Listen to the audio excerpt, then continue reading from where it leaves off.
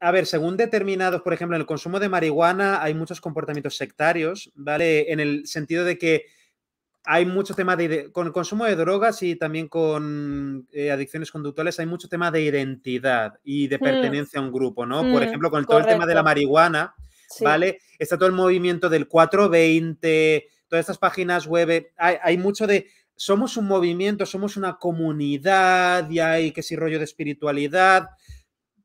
Es como para muchas veces para ayudar a un adolescente o a alguien a que deje los porros, hay que trabajar primero que se que escape de, es como eh, ayudar a una persona que cuando está escapando de una secta, ¿no? Me cuenta, el otro día estaba entrevistando a otra psicóloga que trabaja mucho con sectas y grupos coercitivos, etcétera, etcétera, y pensándolo, Joni, es que es verdad, concretamente con la marihuana, es que muchas veces sirve de poco que ofrezcamos información a la persona de, decirle, pues mira, esto es correcto la esquizofrenia, la psicosis, eh, la concentración, los problemas de memoria, etcétera, etcétera, mira que sí que provoca adicción, la persona lo niega, dice, no, no, eso son exageraciones porque yo he leído en estos foros, en estos sitios, en esto, este youtuber que, dicen que no, que no, que no provoca adicción y que esto es mejor, esto es para, esto es lo mejor, esto es el despertar de la conciencia, no me vais a quitar de los porros están hablando como si les estuvieses criticando a la secta, ¿vale? Si estuvieses criticando su grupo, la disonancia cognitiva y se van a negar a escuchar ningún argumento, aunque le pongan los estudios científicos en la cara.